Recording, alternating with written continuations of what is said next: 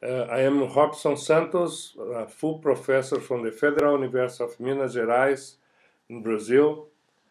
Uh, I am here to say that I do support the great initiative of uh, Open Science, and uh, this will be particularly important to increase the availability of scientific information and scientific communication.